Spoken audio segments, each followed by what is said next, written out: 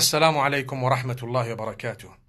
My brothers and sisters, as I said in the previous session, sometimes out of desperation, people tend to visit those who cast spells, those who engage in superstitious behavior, those who do some black magic, uh, those who actually engage in uh, the displeasure of the Almighty. They invoke Satan to help them. They sometimes uh, get the assistance of the jinn kind to help them. Uh, they do that which is unacceptable in the eyes of Allah.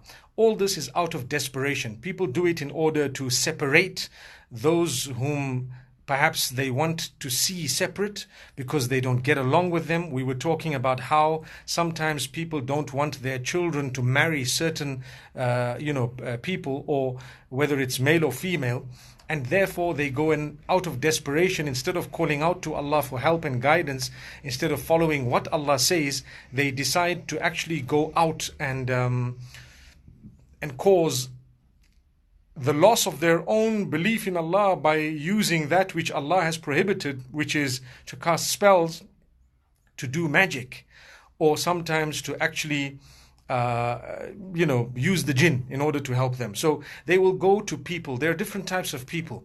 Some of these are don't belong to Islam. Some of them say they belong to Islam. Some of them appear so religious and they say, Don't worry, I will do some deed. Give me the name of this person, the mother's name of this person. Uh, and don't worry, I will make sure that they are separated. Sometimes people do magic on their own family members. Sometimes they do it on their in laws or sometimes they do it on their siblings. And I want to say this is not only prohibited, but it withdraws you from the belief in Allah who says, no matter what it is, you call out to Allah and you try your best within the acceptable means that the Almighty has given you. So, say for example, if your child does not want to uh, does not want to marry the person you want them to marry, they want to marry someone else whom you don't want. Number one, do you have a reason? Do you have a valid reason? If you do, you can talk to them, you can convince them, you can try and explain to them, but you shouldn't be uh, shoving your opinions down their throats. Uh, if you haven't managed to convince them and you tried again, you can get someone else to talk to them. Uh, they may be convinced. You can pray to Allah. They may not do that, but you cannot go beyond that. You cannot become violent. You cannot beat up your children. You cannot do. You cannot go to do magic on them or to someone who claims to have knowledge of the unseen to the degree that they will be able to help you to to you know to uh, with the unseen make the person quit make the person do whatever uh, you want them to do so to try and control people to, through black magic actually the prophet muhammad peace be upon him says whoever visits a fortune teller who claims to know the unseen uh, and believes them has disbelieved in what i have come with or has claimed that I have cheated in my message. The Prophet, peace be upon him, has never cheated in his message. So another uh, another narration speaks about how uh, your prayer is not accepted because you have actually rejected the Almighty and turned uh, to the devil, turned to the that which is superstitious, uh, turned to the jinn kind, turned to those who claim to be able to help you besides Allah. So this is very, very dangerous. Uh, you know, when you go to these people who, who pretend like they can solve your problem, uh, they, number one, would be perhaps perhaps seeking the assistance of the devil. So it's easy for them to look at you and give you information about you and the past and even what you might be thinking of and you start thinking wow what a pious person. But that's not piety. They've just got your news from the jinn the qareen that happens to be with you all along. There is a jinn with you and I all the time you know, there is an angel, there is a jinn. The, the qareen is actually telling you to do bad. The angel is telling you to do good. So when you have a deed in front of you that needs to be done, if it's good, one side of you will say do it, and the other side might make you feel lazy. And if it's bad, one side of you will say don't do it, and the other side might encourage you or show you, you know, that it's spicy, it's juicy, let's just go for it, etc. If you were to listen to the angelic force, you become successful. If you're listening to the devilish force, then you become unsuccessful.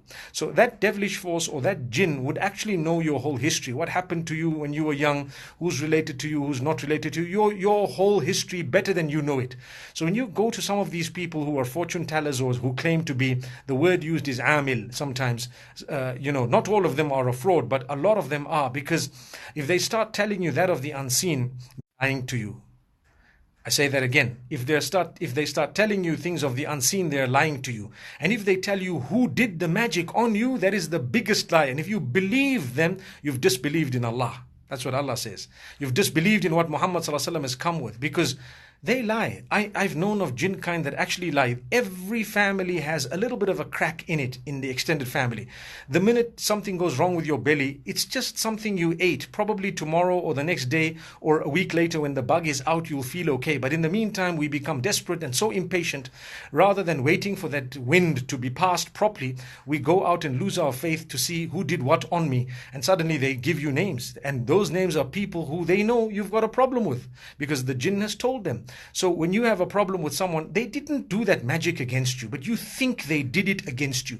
So you actually end up losing your faith by believing an innocent person to be guilty simply because there was a little crack in that relationship and now they've convinced you that wow this person has done some black magic on you.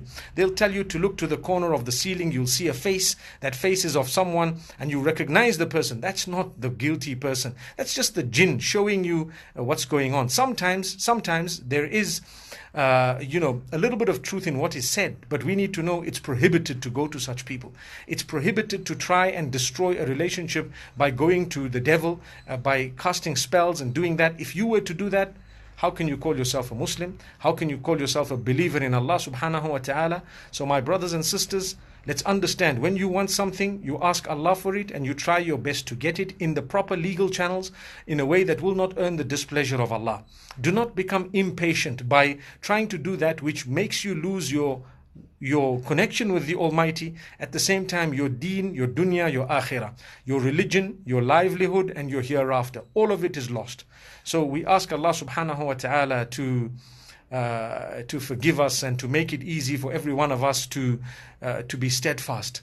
Uh, remember, like I said, I actually received not one but many emails saying that, oh, you know, my so and so has done black magic because they don't want us to be married with so with such and such a person. That is happening, and it's happening a lot. If you do that, you're actually doomed because that black magic comes back to affect you, the doer of it. It will definitely come back to ruin you, your family, your children, because لا يحيق المكر السيء إلا بأهله. You know, a bad plot and an evil plan will only come back to those who deserve it, and that is the people who have eh, done it in the first place. So don't ever feel the need to to try and fix someone by engaging in magic, by going to see a fortune teller, by going to see what is called in, in southern Africa Sangoma or Nganga, what is in Zimbabwe, that's what they're called sometimes. If it's a herbalist, someone giving you some herbal medication, etc., that's another story. But I'm talking of engaging in that which is superstitious in order to cast spells on people. Those spells come back to you. They will definitely come back to ruin you and your life very, very soon and they, they may temporarily give you that ruining of this particular person. That you, you may see the, a slight result of it and get excited. But remember, it's got nothing to do with Islam. It's prohibited in the deen of Allah. It's not allowed. May Allah subhanahu wa ta'ala guide us, protect us.